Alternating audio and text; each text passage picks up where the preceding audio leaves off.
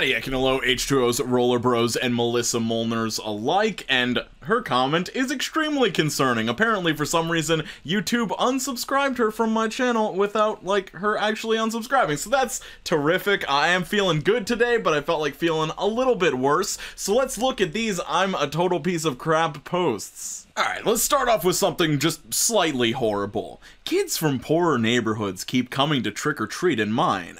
Do I have to give them candy? Why, yes, Emily, you do have to give them candy because that's how Halloween works.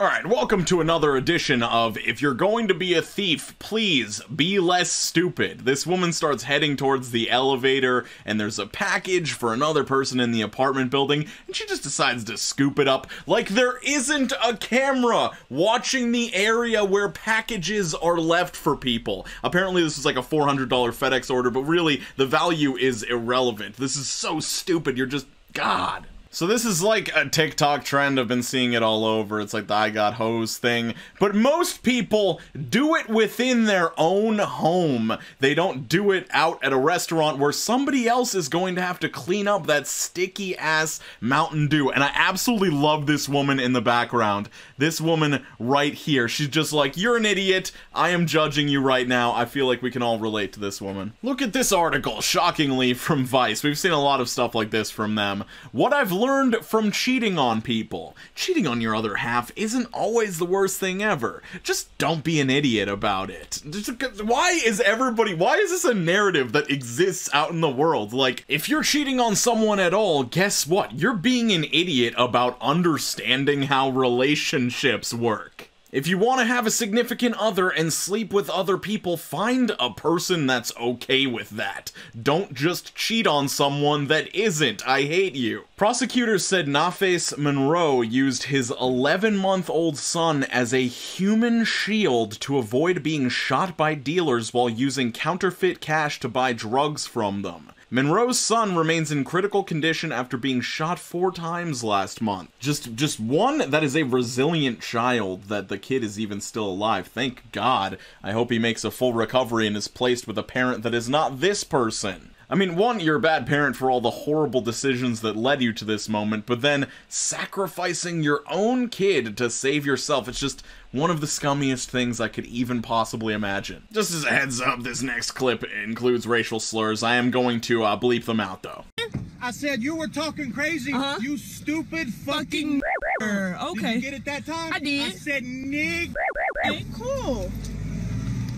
So these two end up being on the same road for a while, and the guy continues, I think like three or four times he brake checks her, stopping short in front of her to try and get her to crash into his vehicle. Which, I mean, one, this dude is obviously racist, and two, he's now like attempting to seriously, seriously injure another person. I mean, imagine if she did not brake in time and actually crashed into him. That could result in a serious injury. All over what? Like, at worst, maybe this woman cut him off in traffic? Like, what an absolute piece of shit. And also, I feel weird making light of this situation, but when they both say stupid fucking N-word at the same time, it almost sounds like in like a sitcom when two friends will like come to a realization at the same time. And so I found that kind of humorous, but obviously what actually happened is disgusting and detestable.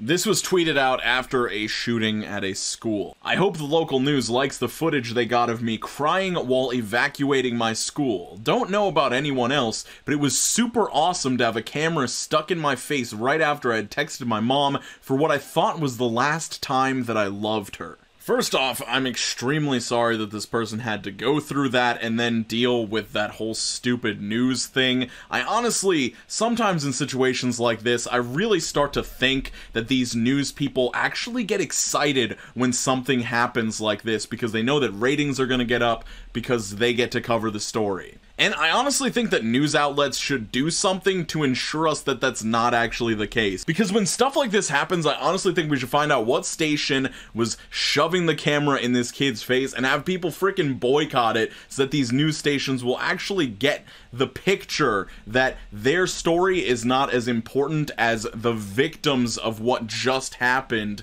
having some space for a moment.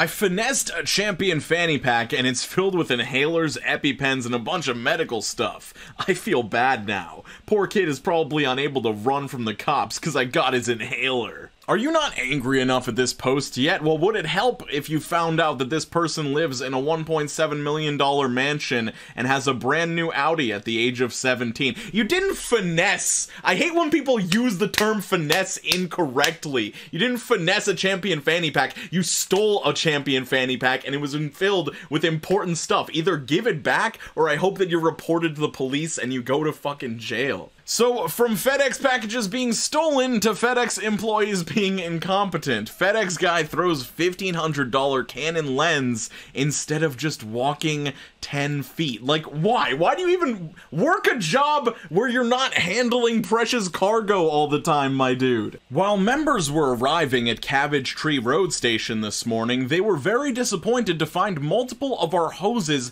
had been cut at both ends while they had been left out to dry. Bro, bro, bro, bro, bro, bro, bro, just why? Firefighters exist exclusively to help people out of horrible emergency situations. Why do you have to make their job more difficult and cost them extra money? Like, obviously, the state's gonna have to pay for it and not the firefighters themselves, but still, this is horrible. And, like, what if something, what if an actual major fire happened at that moment and they didn't have replacement hoses to, like, get this situation figured out? So, the two people in this text conversation hooked up, and then the guy in the gray text told the green text that he was married and this was him cheating on his wife with her.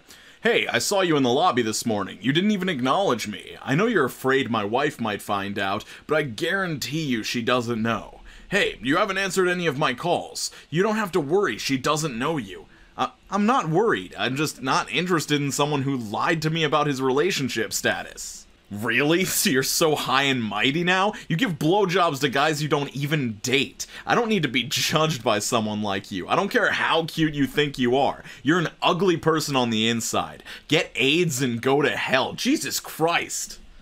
This guy did not like getting called out on his own infidelity. Like, like, I just don't understand what, like, moral high ground this dude has to stand on. Yes, this person had a casual hookup with you, but you also had a casual hookup with them. You're just offended that they were unhappy with you cheating on your significant other. Alright, brace yourself. We got a couple of pedo posts in a row. Elementary school teacher pleads guilty to blindfolding students and spoon feeding them cookies laced with his semen in sick tasting game. What the fuck is wrong? What is why?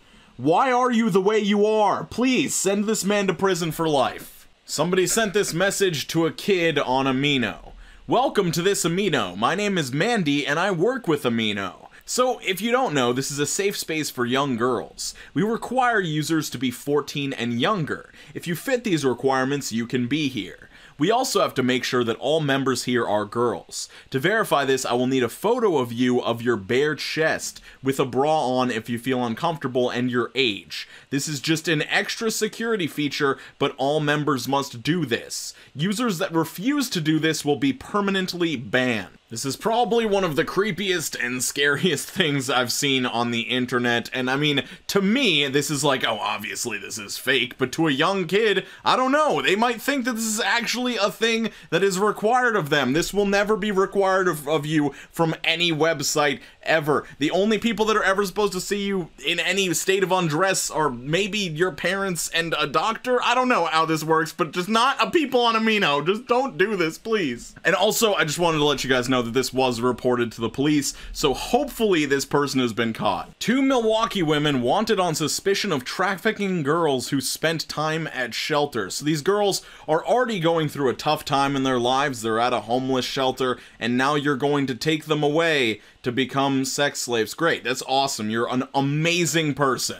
So this is a very, very scary situation. This person is doing something that I would not advise anybody do by passing two trucks in a row, but I mean, everything should have gone fine if this one truck driver didn't decide to just randomly cut them off and cause them to get into a really, really bad car accident where their car flips over multiple times. Like, what was the purpose of that? Do you just not like getting passed by people? Like, you legitimately could be responsible for somebody's death. So, uh, warning ahead of time this post involves an animal.